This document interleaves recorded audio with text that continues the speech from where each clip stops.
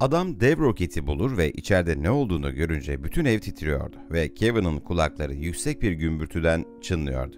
Titreyen bacaklarının üzerinde ayağa kalkan Kevin hızla penceresinden dışarı baktı. Bunun tek bir anlama gelebileceğini anlayınca Kevin'ın gözleri korkuyla açıldı.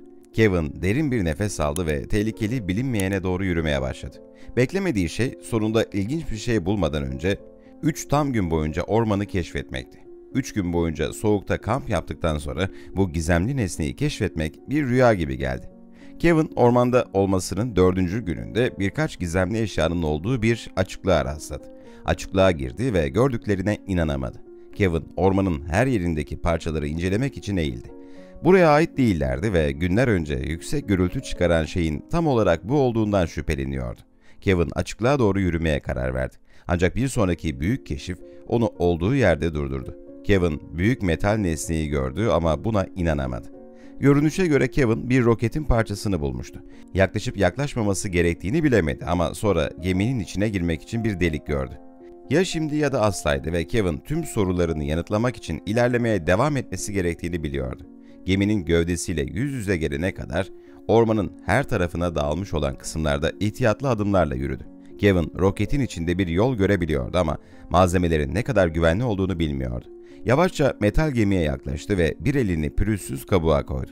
Kevin, neden orada olduğuna dair herhangi bir ipucu aramak için roket gemisinin dışını taradı. İşaretler veya en azından bir bayrak bulabilirse keşfettiği şey hakkında daha fazla bilgi sahibi olacağını düşündü.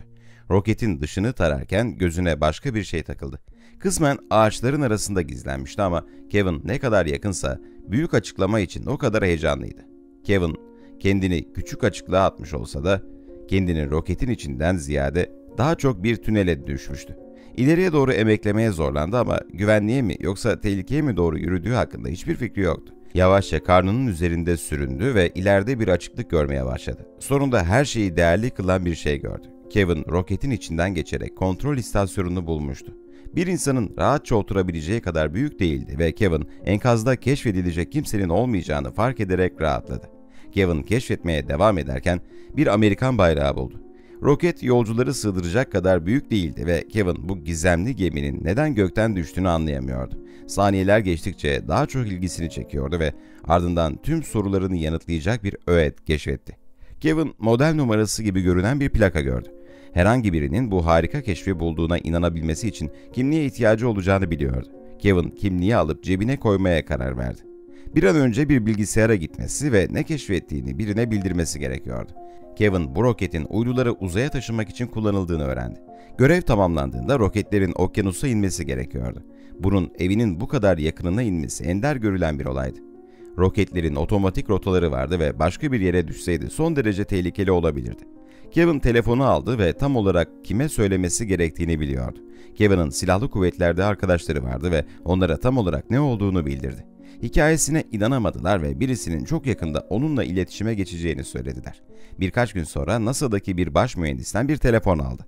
Adanmışlığını takdir ettiler ve hatta keşfi için telefon ettiği için ona nakit bir ödül bile verdiler. Kevin hala roketten alıp sakladığı model plakayı yanında tutuyor. Ancak asıl ödül onun için uzaydan bir nesnenin içinde olma şansıydı.